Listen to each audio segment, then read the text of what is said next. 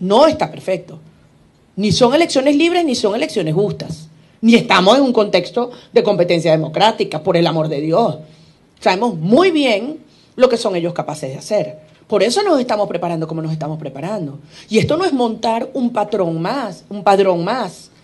Porque hay gente que te dice, no, para que yo tengo 50 elecciones. Está bien, pero esto es otra vaina.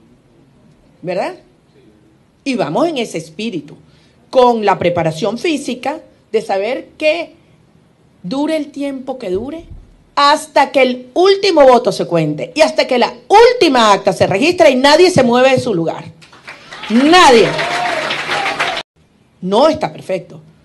Ni son elecciones libres ni son elecciones justas. Ni estamos en un contexto de competencia democrática, por el amor de Dios.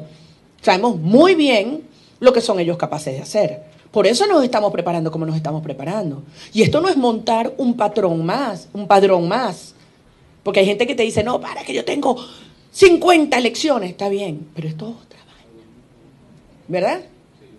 Y vamos en ese espíritu, con la preparación física de saber que dure el tiempo que dure, hasta que el último voto se cuente y hasta que la última acta se registre y nadie se mueve de su lugar.